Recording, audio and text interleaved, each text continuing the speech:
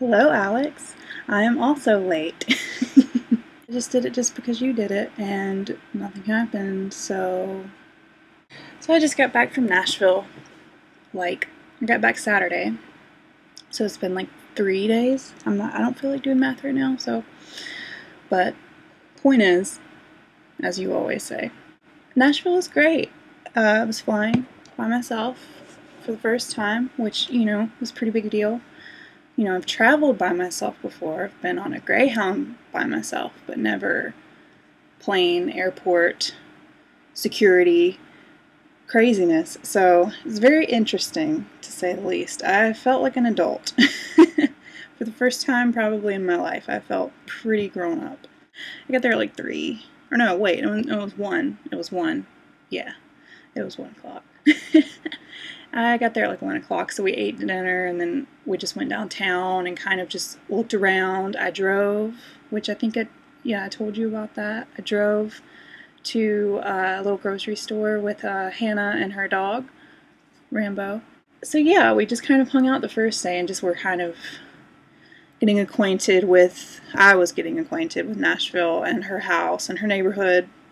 So the next day, we got up early to take her mom to work. Her mom works at the Parthenon, which is a huge um, art museum, and it's the building replicates the original Parthenon, so it's the same size, and um, all the details are roughly the same. The museum hadn't opened yet, but me and Hannah decided that we wanted to walk through it. So we went through everything. She was telling me all this cool stuff. Like there's a huge statue of Athena in the middle of place and she was telling me about every detail on her like she's got like on a breastplate she's got Medusa's head and Medusa's tongue sticking out because she's dead which I didn't realize. I thought that was just kind of like a sign of her being like creepy. I don't know.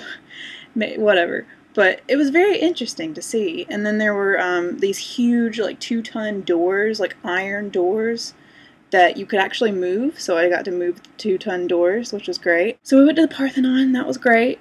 And I it was free, which is the best part. And then that morning we went to get breakfast and we were just talking about stuff and life and whatnot.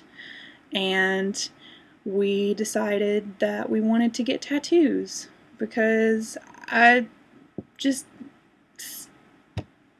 carpe diem. I don't know. It was one that I've wanted for a while. It was just the timing was a little weird, but it made sense. You know, I get this tattoo that's supposed to be kind of like a reminder of home, you know, this little cross.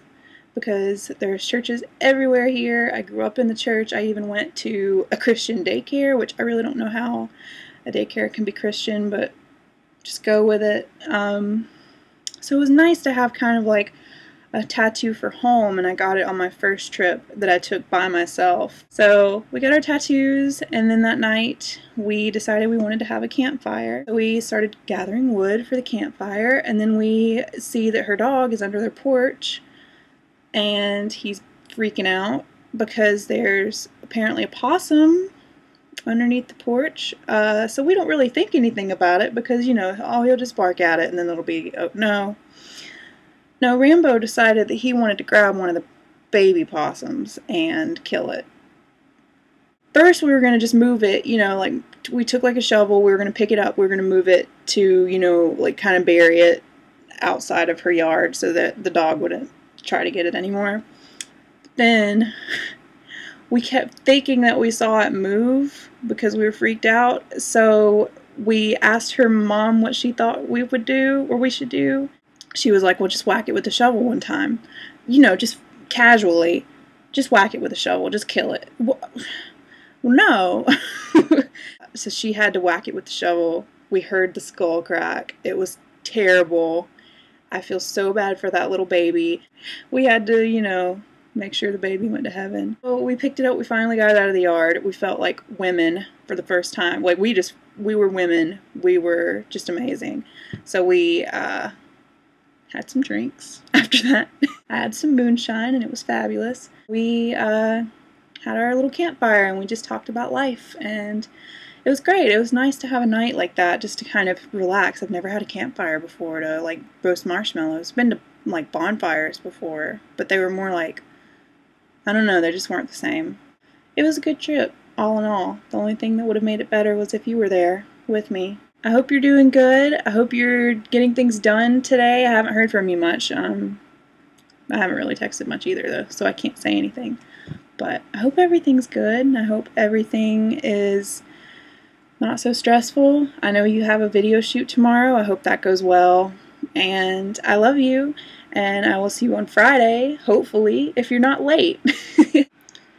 Better late than pregnant, right? oh.